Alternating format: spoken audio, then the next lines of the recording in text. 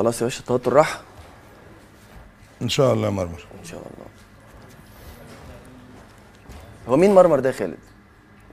أنت عمرو طبعا مرمر يعني؟ بدلعك طيب يلا بينا بسم الله. يلا لولو. يلا لولو. يلا حبيبي. يلا.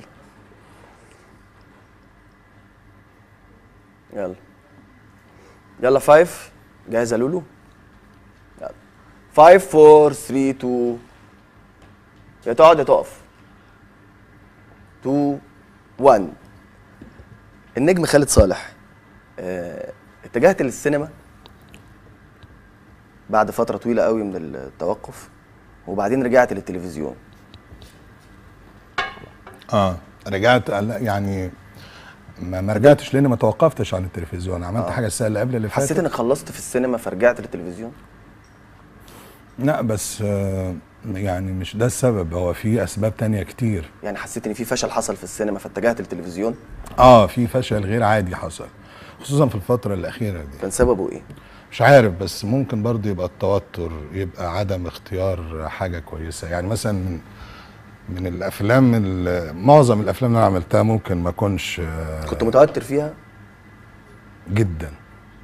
جدا. لا لا ده لدرجه انت حطيت إيدك على حاجة عمرو عجيبة على. الجرح إن التوتر في الشغل قد يكون في بعض الأحيان آه مفيد بس في معظم الأحيان ما بيبقاش مفيد. عشان كده تلاقيني في الفترة الأخيرة ممكن أكون في السينما في فشل فاتجهت للفيديو. ربنا يستر في الفيديو ربنا يستر. قلقان من توترك في الفيديو برضو؟ آه, طب بتعالج ده إزاي؟ يعني انت حسيت ان في توتر ادى إلى ان في فشل في السينما. آه. في في إيه الخطوات اللي خدتها يعني عشان تعالج ده لا؟ عملت عملت خطوات جدية. في دكتور آه، مجموعة من الدكاترة النفسيين آه. يعني ابتديت وده كنت أحب آه، نروح له كلنا. دكتور نفسي جميل.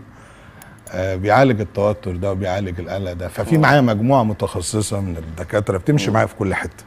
في كل بلاتو بروحه في في في في, طب انت ما. خفتش من تجربتك مع النجم يوسف شاهين؟ أنا بقول النجم طبعا ما بقولش بس مخرج لأنه النجم مخرج. خفت طبعا. كنت طبعا. متوتر؟ آه, آه بس توتر من نوع مختلف. مم. توتر من نوع مختلف خالص مع يوسف شاهين. يوسف شاهين بياخدك. يعني رحت لدكاترة غير الدكاترة الأولانيين؟ آه لا هم هم هم الكاست اللي معايا هم اللي توتر. من نوع مختلف يعني. عطني وش عندك؟ يلا قول. انت في اتهام بيقول ان انت امكانياتك المحدوده حصرتك في ادوار الشر مثلا زي المرحوم توفيق الدقن مثلا.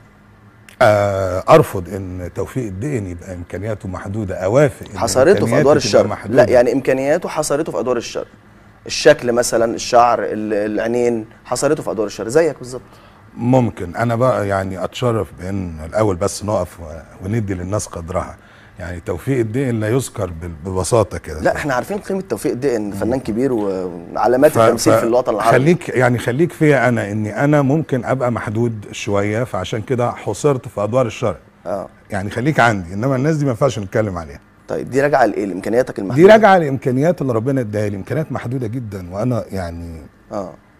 يعني طب هتنميها إزاي؟ يعني هتدرس تمثيل؟ لا بحاول بحاول طول الوقت. بروح مسرح أشتغل في في آه. مسارح ورك هتاخد كورسات مثلا؟ باخد هتدرس؟ كورسات باخد كورسات لازم. آه بتقعد مع ممثلين من الجيل الجديد مثلا تعرف إيه اللي الجيل بيحب؟ الجديد إيه؟ بيه أنا أجدادهم أنا أجدد من أي ممثل موجود و...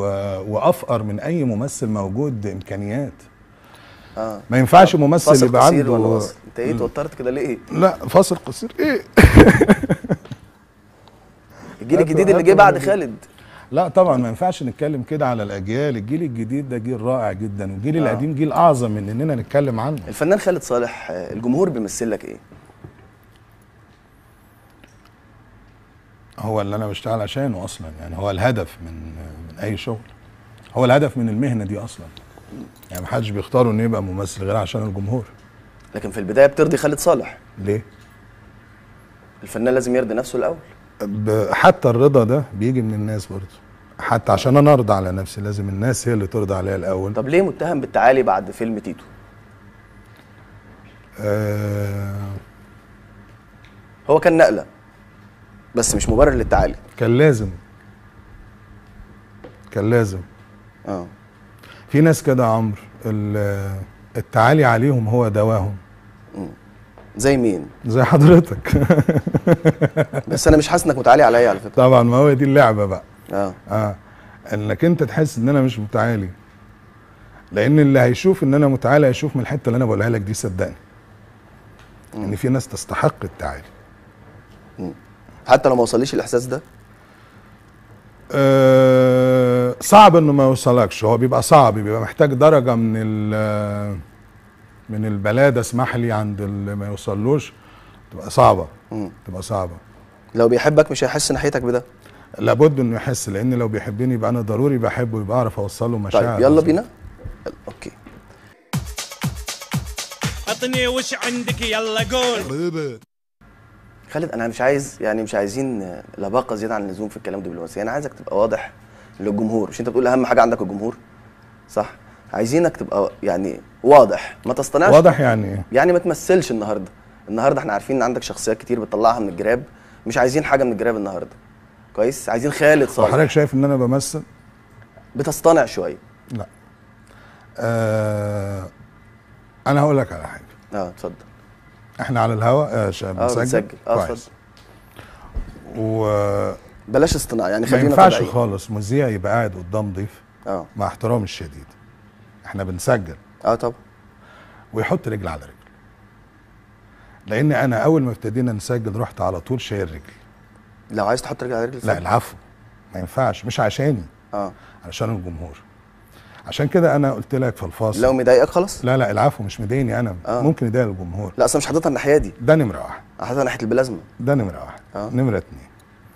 ان ما ينفعش تستضيف حد. خالد ما ينفعش تقول لي كده قدام الناس. لا عادي. لا stop. ما ينفعش تقول لي كده قدام الناس؟ عادي جدا. يا عمرو أنا إذا ما كنتش بحبك مش هقول لك أي حاجة لا قدامك لحقت ولا تحبني يا. خالد؟ لحقت يا لولو. أه بحترمك. آه. يعني أنت مذيع واستضفتني فلازم أحترمك.